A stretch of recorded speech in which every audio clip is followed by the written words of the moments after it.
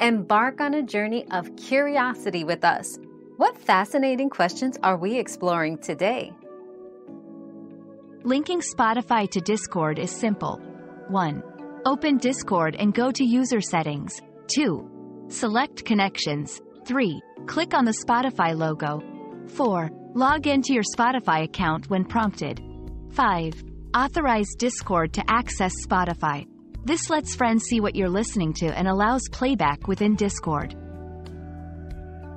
We've quenched today's curiosity, but there's always more to learn. Keep the curiosity alive by subscribing and joining us for our next adventure.